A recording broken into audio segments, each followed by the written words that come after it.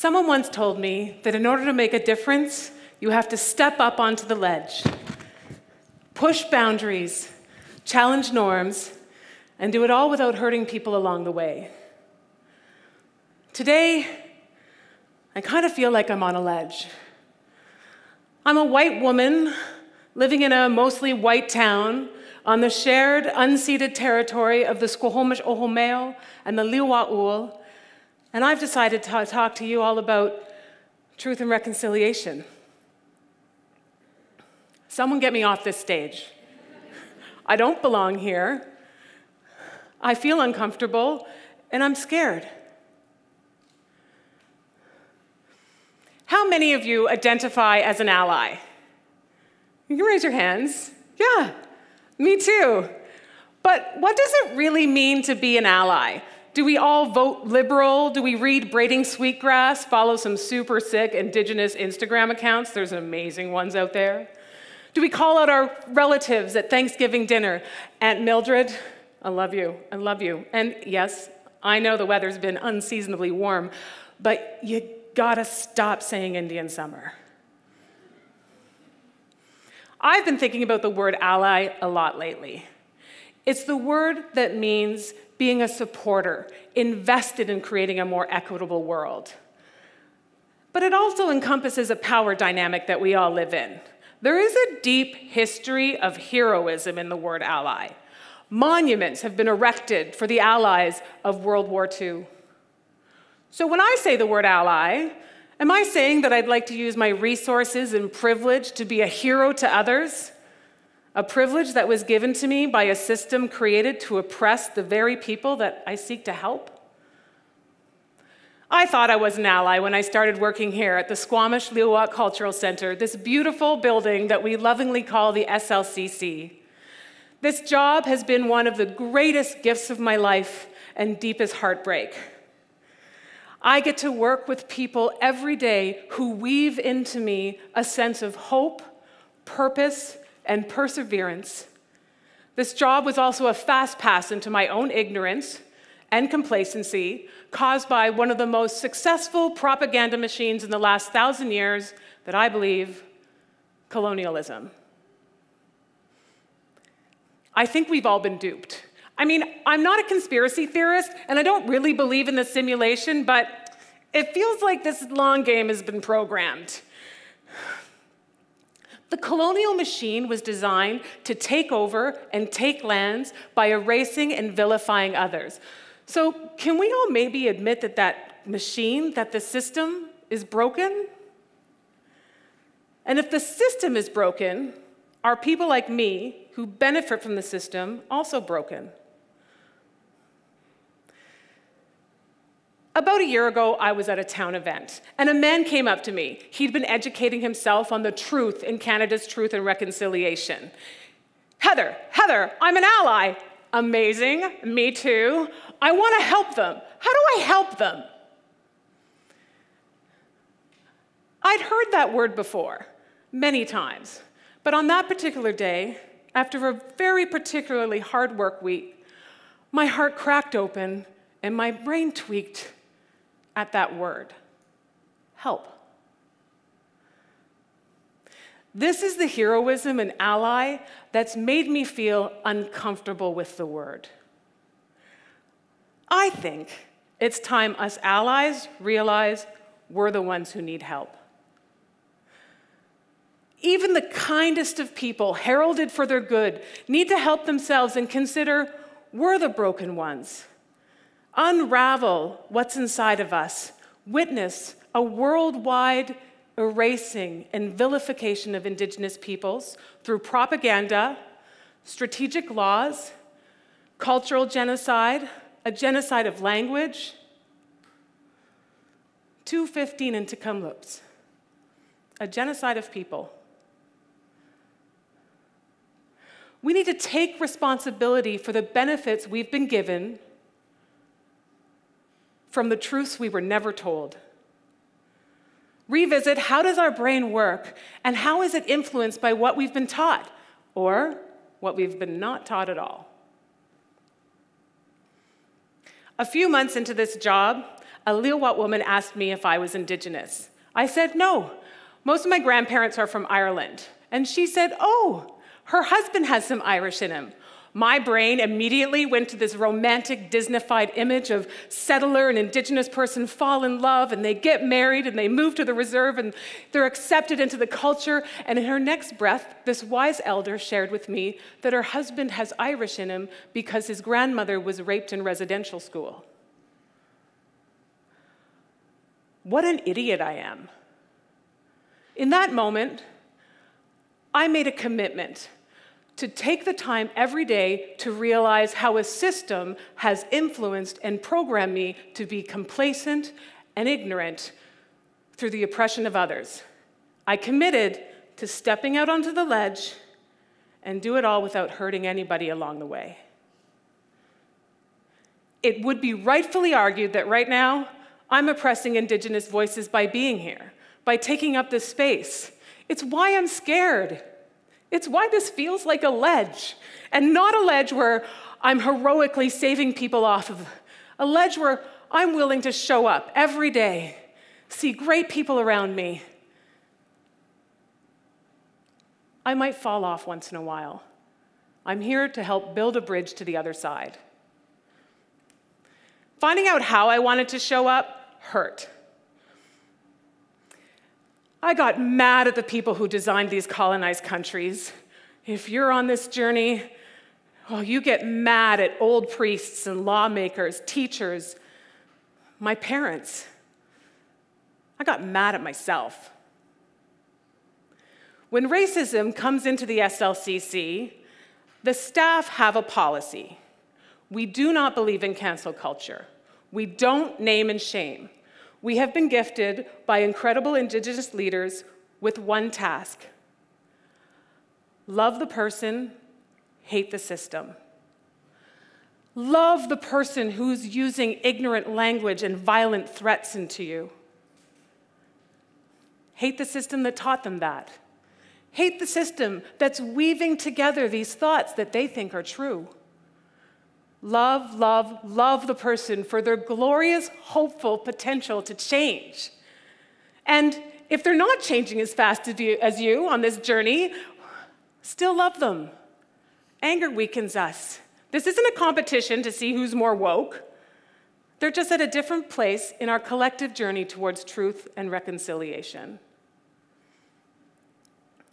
There are times when I'm digging deep into trying to be the change that I want to see in the world, and I am lying on my couch, swollen from eating all the carbs in the kitchen, and this ding dong of doom keeps spinning in my head. I didn't do this. Am I a settler? It wasn't me. I try to be a good person. I might not have done it, but it doesn't change the fact that there's a marked inequality for Indigenous people in this country, and as a white woman living on unceded territories, with the time and resources for a pretty diligent skincare routine, I benefit from that oppression every day. It's a bit shifting, isn't it? Uncomfortable with the conversation, uncomfortable with the word settler, uncomfortable with this quiet voice that I do I deserve to be here? Hey, it might be true, but it doesn't change the fact that Indigenous people don't deserve to be treated the way they historically have been and currently are. Right now in Canada, Indigenous people make up 5% of the population. Yet 25% of all homicide victims are Indigenous. The latest Canadian census shows that the median income in Canada is just over $40,000. For First Nations, it's just over $23,000. Why the difference?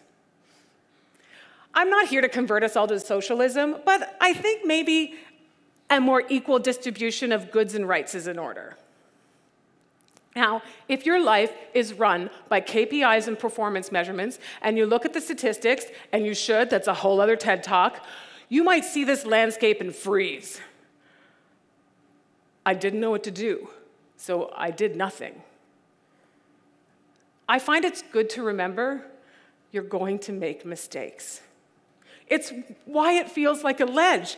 It's why it's scary. It, it might not even be that far down, but it's designed for us to step back and step away. It's about huge, unforgivable mistakes that haunt you at 1 a.m. When I was in my 30s living in Whistler, my friends and I made a movie, and I dressed up in fringe leather, headdress with war paint on my face. How many people have done this or similar in their past? It's okay. You can say it. I'm so ashamed, and I'm so sorry. What taught us that cruelty? What told us that's okay? This is the first time I've shared that publicly, and I've been afraid for years the photos would come out. I'm not telling you today for forgiveness. I'm telling you today because my son is here, and he needs to know how close he is in generation to something he knows is wrong. I'm telling you today to break the chain. It ends here. I'm now three years into my journey on learning how I actively participate in truth and reconciliation. Gifted with this job as a fast pass, I have teachers who are 15 to 80 years old. The community and businesses in Whistler often approach the SLCC asking, Heather, what does reconciliation look like? What can we do? Uh, how do I talk to Indigenous peoples? Okay, I can give you that tip.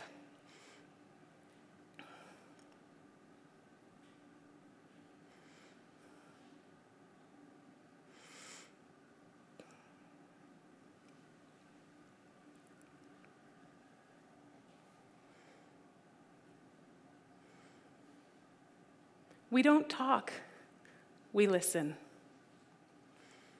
I am in awe of what I have learned by listening to the graceful sounds of the ambassadors in this building. I am struck by the care for the land, the care for the great great grandchildren they don't know.